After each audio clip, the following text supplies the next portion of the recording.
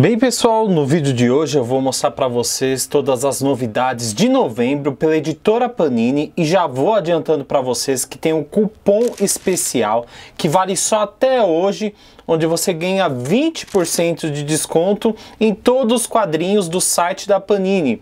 O cupom e o link para você conseguir o desconto e ajudar aqui o canal do HQzaço vai estar tá aqui embaixo na descrição do vídeo. Então já aproveita que é cupom relâmpago, vale só até hoje e vale para pré-venda. Então todos esses quadrinhos que eu estou anunciando aqui, se estiverem lá já em pré-venda, vocês podem aproveitar com esse cupom que você vai ter os 20% de desconto. Aproveite. Então vamos descer aqui bem rapidinho, mostrar para vocês ó, nós temos em mangá esse Beast Complex, para quem curte, né, o Beastars, temos um novo título da mesma autora, 34,90, 192 páginas. Eles não disseram muito bem do que se trata, se é uma continuação, se se passa numa história paralela ao mesmo tempo de Beastar. A gente sabe que o protagonista, o Legoshi, ele participa aqui, não sei se como protagonista, mas provavelmente uma aparição de homenagem. Sakamoto Days foi pedido pelos que eles falaram, tiveram muitos pedidos sobre esse quadrinho aí. Ele está saindo por R$ 33,90, 192 páginas. Undead Unluck também, novo mangá e aparecendo 33,90 por 192 páginas. Desses daqui, ó, aliás eu vou falar para vocês quais que eu vou pegar, né? O Beast Complexo eu vou pegar, então vai ter review no canal, mas aqui não sei não. Kingdom Hearts 2, o volume 1, começando uma nova fase, agora com o volume 1, 179,90, 400 páginas, capa dura, se não me engano isso aqui em cores. Dias Demoníacos, que é um mangá também, só que naquele formato específico de 20 por 31, grandão, 256 páginas, é aquela capa FSC Supremo, que é o mesmo do X-Men Grand Design, saindo por R$ 199,90, tem relação com os X-Men.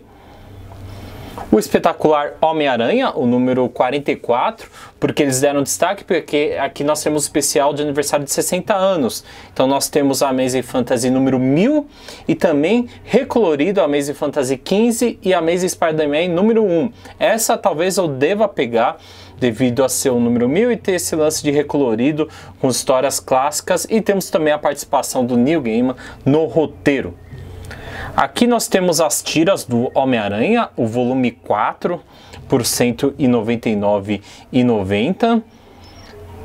Mais o um encadernado do Homem-Aranha, as Graphic Novels, aqui é um material em capa dura, quase 300 páginas por R$ 114,90, reunindo todas as histórias em formato Graphic Novel do Homem-Aranha. Então compila aí diversas, como vocês estão vendo, diversos roteiristas e artistas participando.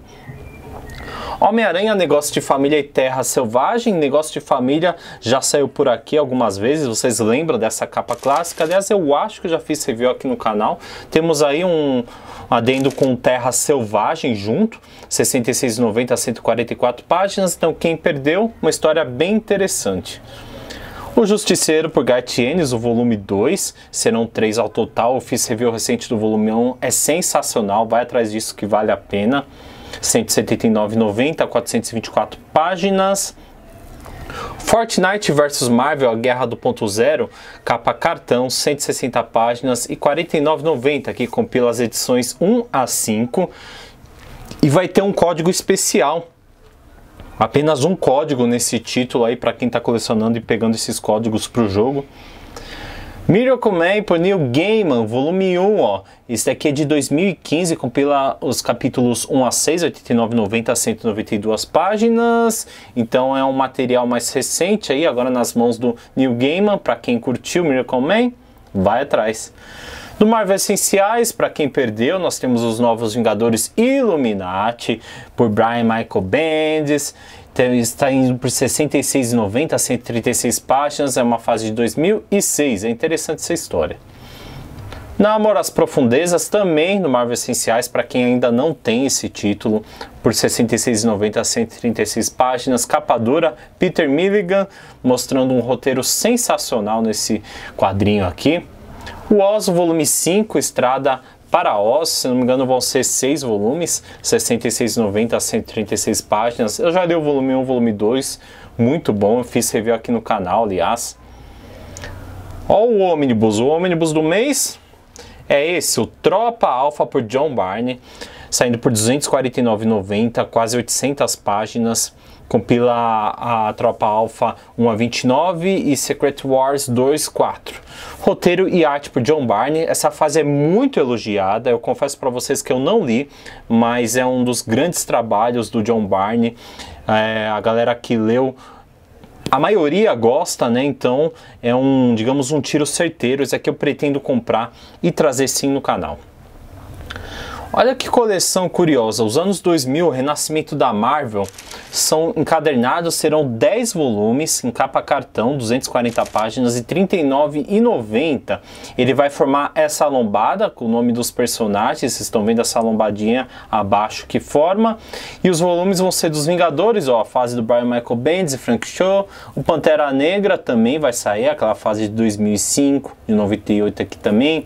A Viúva Negra, Capitão América, o Deadpool também vai sair com as fases específicas. São histórias não inéditas, mas que já saíram, mas para você que talvez seja um leitor novo, caia bem. O Homem de Ferro por Warren Ellis, a Fênix, o Homem-Aranha por John Romita Jr., Wolverine por Mike Millar, o X-Men por Grant Morrison, Frank Quitely, que já saiu até recente. Então, é uma coleçãozinha aí mais, digamos, para iniciantes. Batman Especial Volume 10, focado no Robin Tim Drake, 36,90 a 144 páginas. Esse eu vou pegar. Fábulas Batman vs Big de DC Black Label, então é um selo adulto. A gente tem um crossover do Batman com o personagem do Fábulas, aquele mesmo Fábulas do Bill Winningham tanto que ele faz o roteiro desse quadrinho, vai ser capa dura, 160 páginas por R$ 74,90. Vou comprar e fiquei curioso, confesso para vocês. Robbins, capa dura, 66,90, essa fase do Team Sale. Sale, compila as fases de 1 a 6 de 2021, uma fase mais recente, tem polêmica aqui, disseram, 100 balas, o volume 5, a última edição de 100 balas, eu tenho todos que saíram até o momento, do Brian Zarelli e do Eduardo Risso, 209,90, 496 páginas. E com pelas edições 81 a 100, fechando a série principal. Temos o Esquadrão Suicida, o Alvo, Coringa, do selo DC Black Label, 160 páginas por R$ 74,90. Também uma fase do Brian Azarello e Alex Malev, sensacional na arte. Guerra pela Terra 3 também, por R$ 74,90, 256 páginas. Hitman edição de luxo, volume 3 do Gartienes, 179,90, 424 páginas, sensacional, volume 1, fiz review aqui também. O Fábulas, volume 10, a edição de luxo, 164,90, 384 páginas. Wildcats por Alan Moore, olha só, do selo DC Vintage, 169,90, 392 páginas, roteiro, né, do Alan Moore. Isso aqui eu lembro dos anos 90, essas histórias aqui, lembro de ter lido alguma coisa. Não sei se eu vou pegar, talvez esteja no meu alvo. Star Wars The Mandalorian, primeira temporada por R$ 79,90, pegando o embalo da série, não poderia ser diferente. O Avatar Volume 2, A Próxima Sombra, 52,90, 96 páginas. Tex, A Máscara do Terror, da Biblioteca Tex, e que capa bonita, 144,90, roteiro Claudio Nisi, 336 páginas. Esse aqui eu queria, viu? Cinema Purgatório por Alan Moore é uma republicação, 74,90, com pelas fases 1 a 18. Somente histórias do Alan Moore e O'Neill, Kevin O'Neill. Esse aqui eu já fiz review no canal também, dos primeiros, vale a pena. E é isso, galera. Comenta aqui embaixo qual que é o seu grande destaque. Se você vai aproveitar esse cupom relâmpago também, não esqueça de deixar seu like, se inscrever no canal da HQzaço e até o próximo vídeo. Valeu!